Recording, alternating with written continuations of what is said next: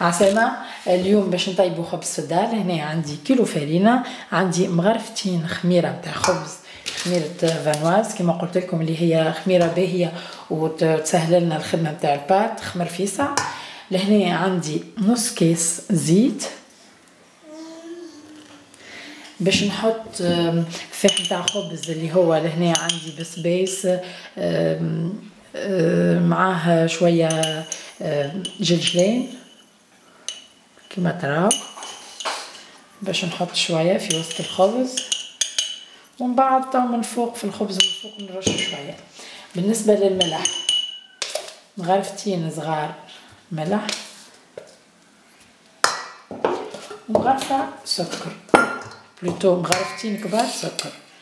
خاطر إحنا توا نخدمو في كيلو.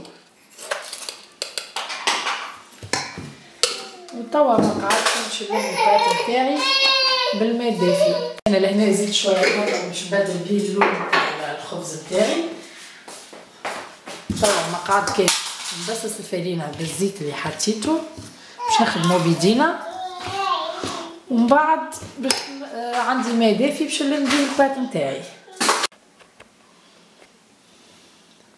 لهنا قاعدين نبسسو في البات بالزيت اللي حطيناه.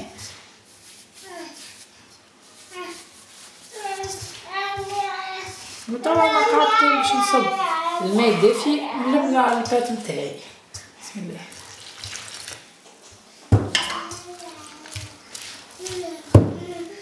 البات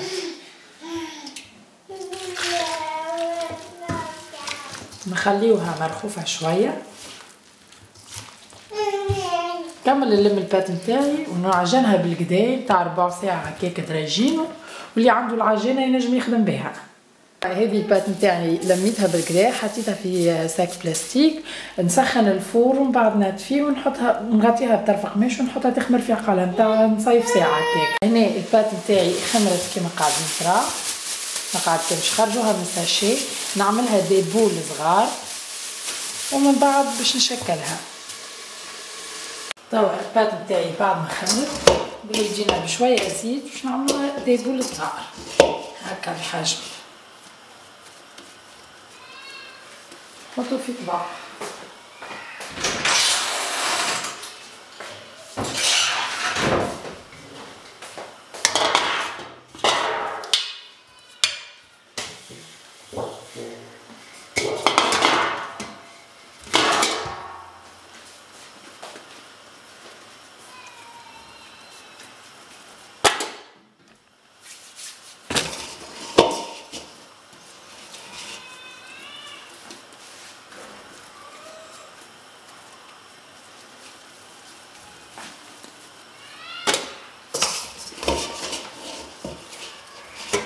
لي بول هذوما من بعد باش نعملهم خبزات باش نشكلهم.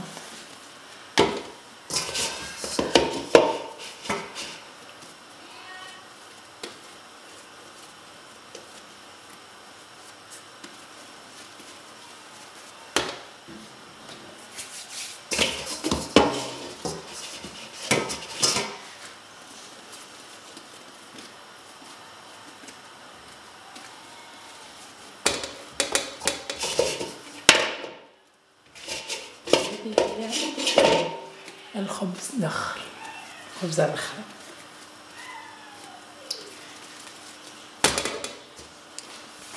هنا نطفو بالكدا سطح العمل اللي باش نخدم عليه هنا باش نحلها بالقلقال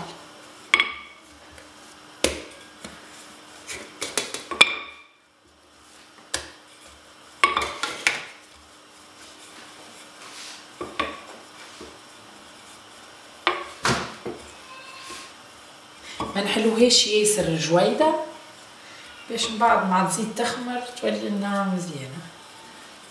متجينيش خبزة طايحة ياسر. ناخذ لام جديد.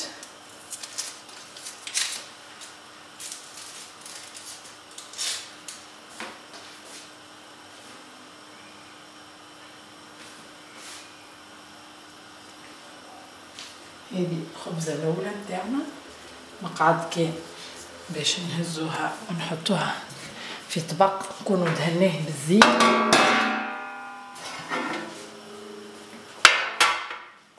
نحطوا فيه الخبزات نتاعنا يخمروا في عقلهم.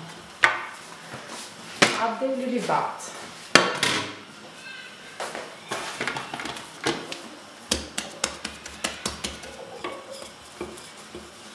العادة نسهلوا على رواحنا نحلو بالقلقال خير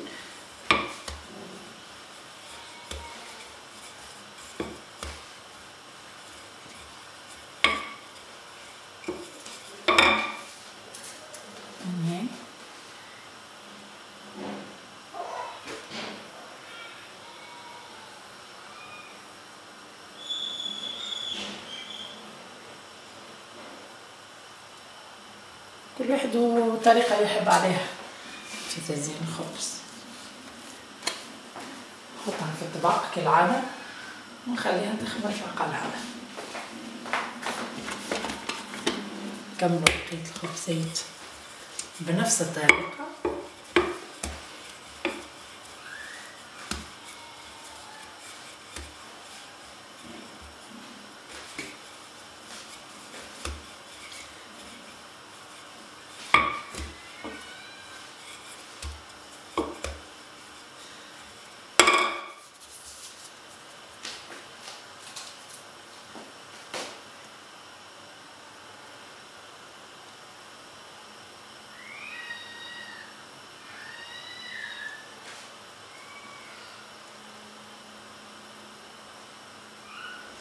Voilà.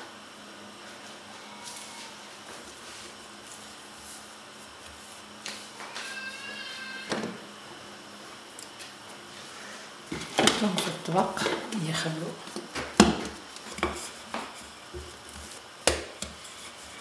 المرحلة الأخرى هي باش ندهنوهم بالعظم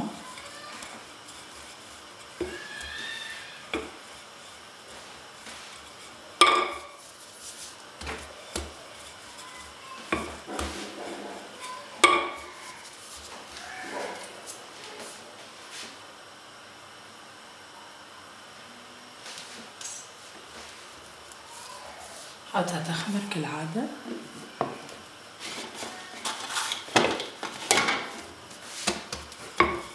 تبارك الله هو الكيلو بويسكو نعرف خبزات متفاوتين فما صغيرين وفما باهيين ماهمش صغار برشا وماهمش كبار برشا. عمل لي ستة خبزات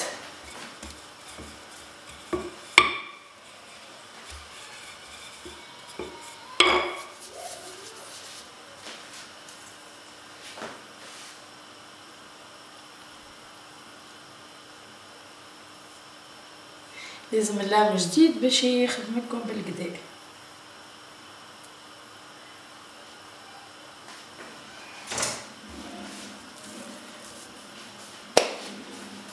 نحطها في الطبق. ونخلي خبزة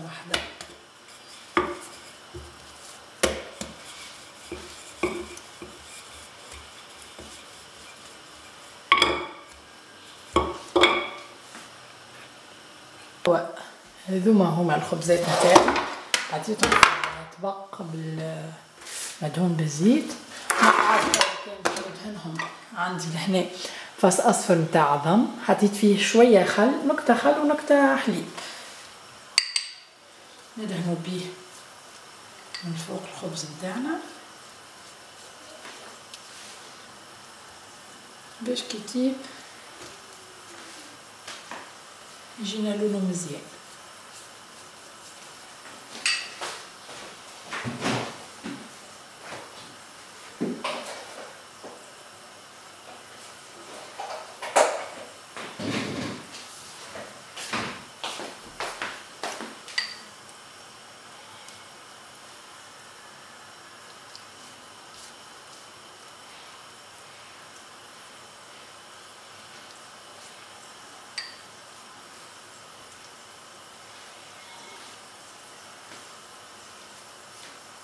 باش نرش عليهم فيه الخبز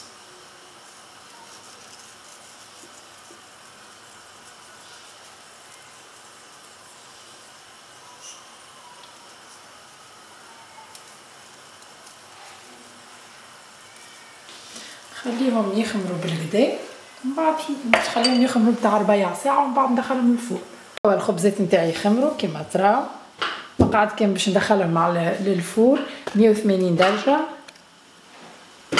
وهذا هو الخبز نتاعي حضر إن شاء الله تكون عجبتكم ال recette ما تنساوش abonnez-vous على ma chaîne اللي عنده أي سؤال كيف العادة؟ يخلي لي commentaire وأنا نجاوبكم بقدرة ربي. بسلامة.